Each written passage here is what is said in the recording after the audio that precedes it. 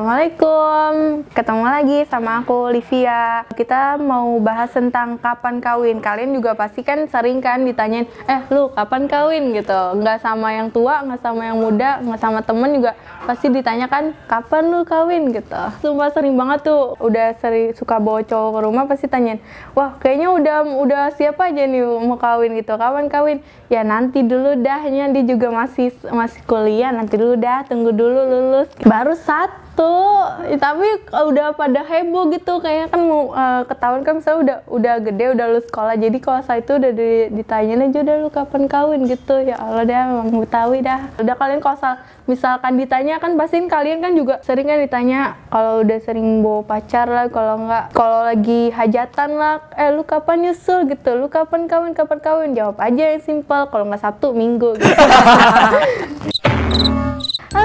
Semuanya, makasih ya buat kalian yang udah nonton video-video kita di Digidi Channel. Assalamualaikum warahmatullahi wabarakatuh. Dan